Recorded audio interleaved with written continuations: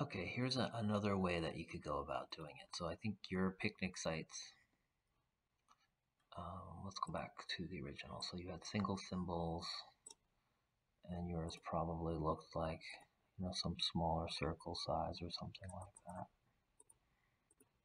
Let's just say it's something like that. So what I'm going to do is I'm going to use this cluster point point cluster. And what it does is it counts, like, so it'll grab a bunch of points and then count how many there are. So, like, in that area where there were two points, five points, seven points. So those are picnic sites. So there's seven picnic sites. And when there's only one, it means that like so you see the blue dot means there's only one. So what you could do if I wanted to combine those two since they're really close is you can increase the distance a little bit but we're still left with some of these that you just you wouldn't want to keep increasing the distance. You have to stop at some point because then it would be really not in the right spot. So what we can do is we'd have to go back to where we were and and make those a similar color. So the only way that I know how to do that is to go back.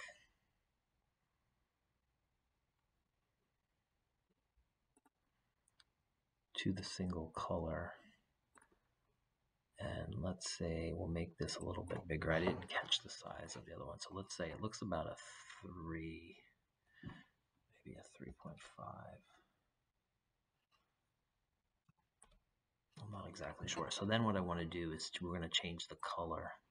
So there's this button here. It says pick color and you get this little eyedropper and you can go over here to this um, and pick that exact same color so the marker matches right? So now all my match markers look like that. And then if we go back to the point cluster, we increase this to like a 7. And now at least we have all of these points are the same color now. I would say we still have to, we should have made this a little bit bigger.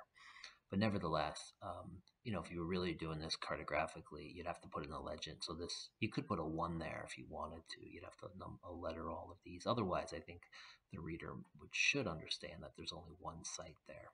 But that's just another way to generalize, right? So we went from all those points to, you know, there were 17 points there in that area, and we went and generalized them to show that there's 17 picnic sites. So just another option I still think the hexagon provides a little bit more flexibility, um, but nevertheless, this is another way to do it.